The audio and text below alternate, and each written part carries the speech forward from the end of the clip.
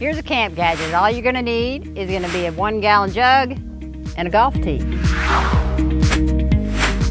Here's the supplies you're gonna need. Three poles for your tripod lashing. The manila rope I actually like to use because it doesn't slip. A pair of hose or I actually like the knee highs if you can find those. You're only gonna need one. And then obviously bar soap. Knife just in case you need to cut your rope and it's too long or whatever. And then a gallon empty jug. And the cool part, kids are gonna love this. This is why they like it so much. It's just, it's just fun. You're gonna use a golf tee. And of course, don't go buy a pack, just find somebody who plays golf, they'll be happy to give you one. And you do not need it this long. They're usually about an inch and a half, two inches. I like to keep my golf tee in there just so I know where it is for the next time. All right, let's get going. These are all pretty much the same length, but they recommend at the end that those be even than this top part, because this top part doesn't matter. You want to be able to have your tripod even. And since I don't have a buddy, I'm gonna put these on it, make it a lot easier to lash. Again, a tripod lash or pole lashing, you start with a clove hitch. Start on one of the outside poles, is all you're gonna do. Is you're gonna make an X. Let me do it this way. X.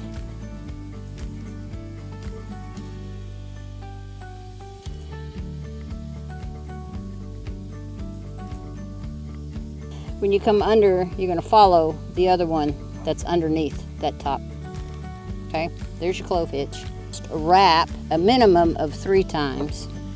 Now the fun part is trying to get your rope in between these things. Someone showed me, and of course possibly showed me wrong, when they lashed, they would go under and over, and then come back and go over and under. The book, we follow the book, which is a fantastic resource for just about anything. Um, I'm just gonna follow the book. So now you start your frapping, which go in between one of these. I don't know if I said it, but I started with about eight, seven to eight feet. I go way down here at the end.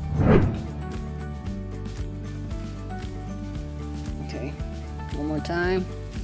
Try and pull as, as tight as you can. Okay. Now you just do another clove hitch. Clove hitch is for uh, square lashings, pole lashings, and the only time you use a timber hitch is for your diagonal lashing.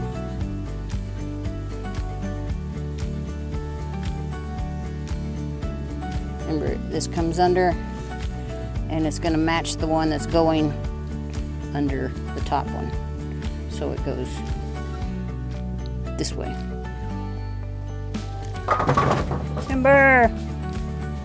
Back here.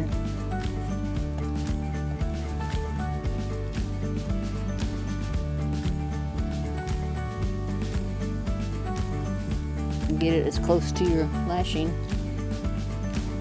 And that's it. So let's stand this one up and see how it folds out. All right.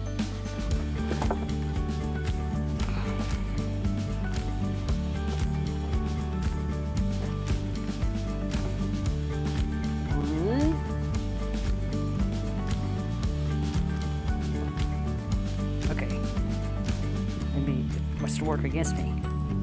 There we go. Much better. Okay, ready for a hand washing station.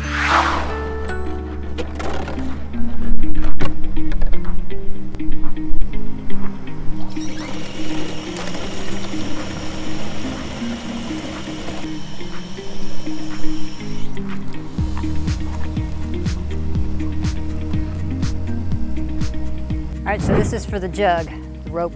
We're gonna come over to a taut line, start with a loop, two on the inside, one, two, come down, and then go under through this loop, and tighten all three of these, and that's your taut line.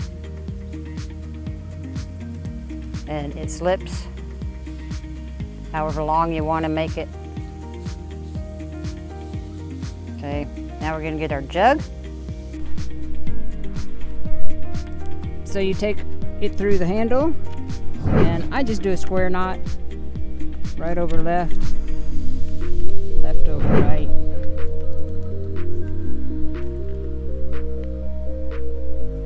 There you go. Of course any soap will do. Stuff it in your sock stocking.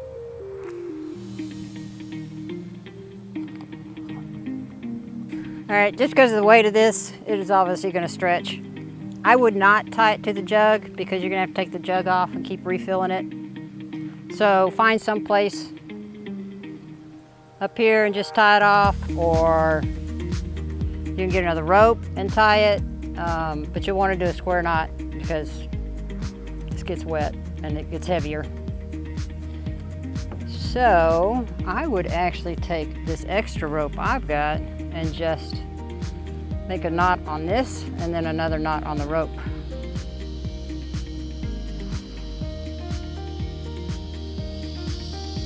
I mean, that's gonna stay, but you never know. Doesn't hurt.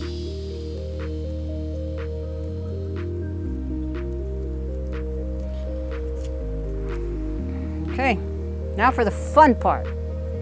It's the golf tee, and as all you do is you're gonna poke it